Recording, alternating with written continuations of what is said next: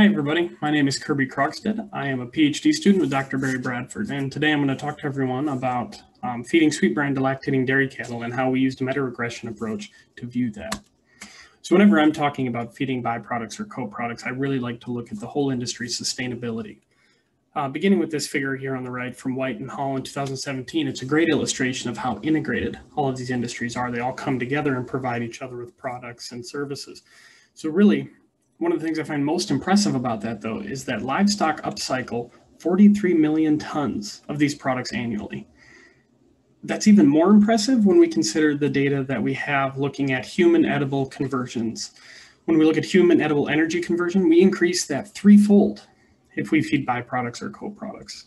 In a separate study looking at human edible uh, energy and protein, protein was increased tenfold when we included, included byproducts or waste products. That increase is even more profound if we look at digestible amino acids.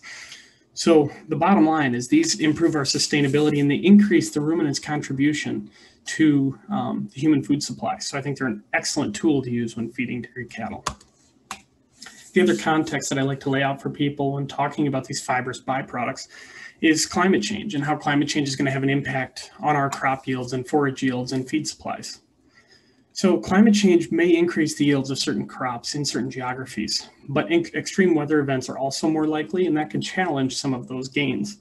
So certain parts of the United States, especially the northern latitudes, will have the possibility to harvest more biomass per acre if they have adequate moisture because of the longer growing season, whether that is, you know, letting crops grow longer to increase their biomass or having um, cover crops to bookend your main crop, whatever the case may be, there's opportunity.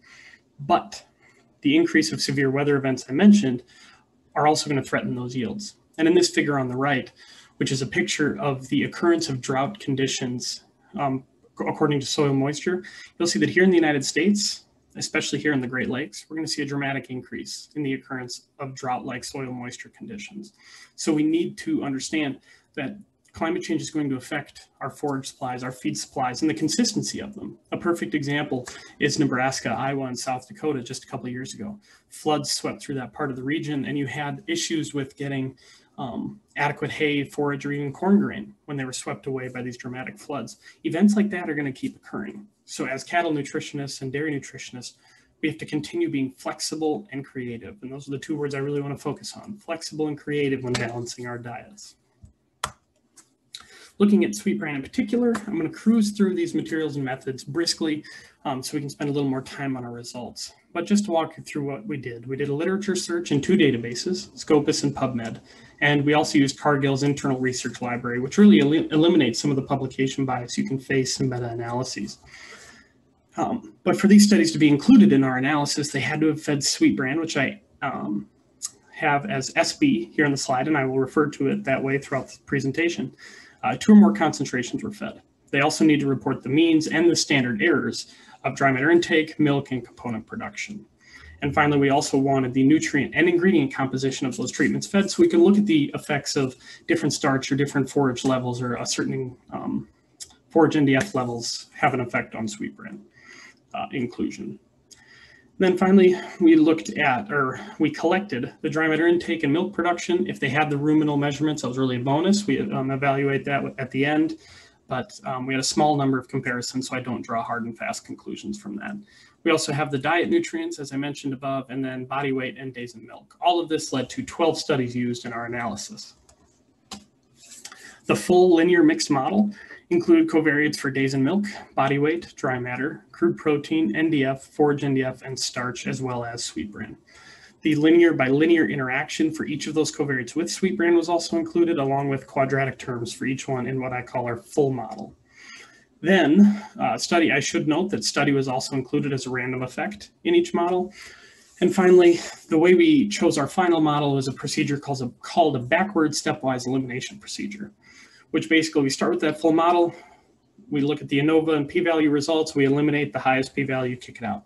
Run it again, kick out the next highest p-value. And we do that until each term is significant. And in this case, we used a cutoff of 0.05.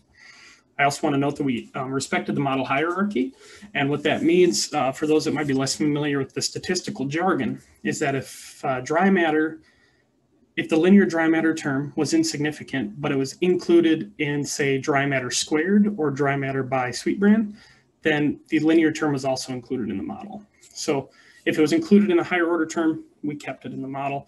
And our models were screened for collinearity, residuals, normality of the residuals, and influential observations before we accepted them as our final model. Um, I do want to acknowledge a past meta-analysis that was done that had a similar objective. Um, Dirac et al. Looked at corn gluten feed, but they looked at wet, dry, Sweet Bran, and commodity wet corn gluten feed. So really, um, they're drawing comparisons a lot across a wide range of products, which we don't feel like is completely sound. And one of the ways to illustrate that is that the Sweet Bran nutrient concentrations are shown in this column here. The wet corn gluten feed commodity concentrations are shown in this far column to the right, as reported in the 2016 beef cattle NASEM. What you'll see is that Sweet Bran is greater in dry matter, greater in crude protein, but lower in starch. So these products are not necessarily equivalent. So we really wanted to break that out, look at one specific product. And finally, dry matter differences alone have led to performance changes. Uh, wet versus dry distillers grains is a perfect example of that. So just to start to caution you to the results we're going to go over is Sweet Bran was correlated with NDF, starch, and forage concentration. I show those here, 0.5, 0.68, 0.64, and negative 0.58 when we're talking about forage NDF. And I mean, that's to be expected. There's only so much room in a ration. You know, if we're feeding this much sweet bran, we got to take that much of something else out. Um, so that is going to complicate some of the conclusions we draw. So I really want everyone to think critically when we're walking through these results for yourself and realize so many things are changing when we're talking about just a sweet bran response. Um, so just be cautious and thoughtful. And also, uh, we did use the best practices to minimize collinearity problems in the final model uh, presented. So just to start, um, Sweet Bran interacted with NDF to affect dry matter intake, and that is shown in this panel A on the left. We have NDF on the X, dry matter intake on the Y.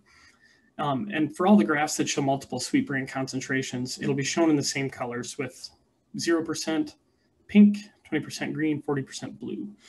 So in this dry matter intake plot, we'll see that 40% in uh, Sweet Bran increased our dry matter intake, but that that advantage over the lower concentrations was reduced as NDF increased. So we do increase intake. It appears we increase intake with Sweet Bran, but we need to be cautious about total diet NDF as well. When we look at milk yield, we saw another response. But this is one of those places I want to encourage you to be cautious, is we don't have the complete response surface for starch and sweet bran to look at this interaction really well. Um, but what it tells us is, or what this plot portrays is that at a high sweet bran concentration, we need more starch to increase milk yield. And what I take from that isn't so much we need to feed starch and sweet bran, it's that if we're feeding a lot of sweet bran, we're probably feeding a lot of fiber. If we're feeding a lot of fiber, we might be limiting microbial crude protein production or limiting propionate and limiting lactose production downstream. So we just want to make sure we got enough room and fermentation going on when we're feeding Sweet Bran. But what I mean by the response surface is that this is a plot of Sweet Bran on the X, starch concentration on the Y, and you'll see they're correlated, as I mentioned before, but we have these gaps where we don't have data points to fill those to look at this response across that whole response surface. So I would just encourage everyone to be thoughtful looking at these results. Um, Sweet Bran was associated with milk fat production. Um, in particular, we look at fat percent in this first panel by forage NDF. And basically, when we're feeding high amounts of sweet bran, increasing forage NDF with high sweet bran concentrations has a positive effect on milk fat percent. Really, that tells me we need adequate effective fiber when we're feeding cows with non-forage fiber sources. To look at fat yield on the right, we can see that sweet bran had a quadratic response. So we see that optimized at about 26% dry matter for Sweet Bran.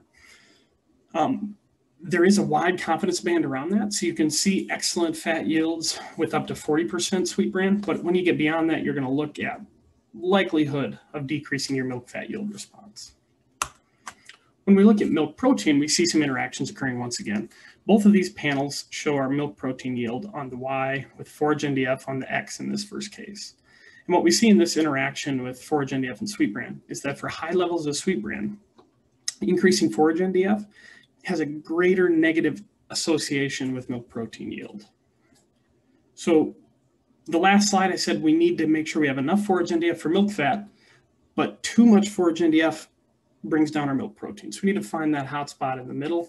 Um, and from these results, I would tell you to aim for 17 to 20%. And then also we have sweet bran yield or uh, milk protein yield with sweet bran was a quadratic response being optimized at 11%. But again, a wide confidence band so we can see adequate milk protein yield up to 25 or 30% sweet bran inclusion. Um, Sweet bran did have an effect on ruminal butyrate concentration, as you can see here with sweet bran on the X and ruminal butyrate on the Y. Across studies, there's a slight increase in ruminal butyrate as we increase sweet bran. Um, effects in other VFAs were not significant, but they did appear to be associated with the substitution strategy. So replacing forage with sweet bran led to an increase in propionate, and replacing concentrate with sweet bran led to an increase in acetate. Um, we didn't have enough comparisons to really draw some hard conclusions I'd feel confident in presenting, but we did see this slight increase in butyrate that may be interesting considering the immunometabolism um, and metabolic effects of butyrate.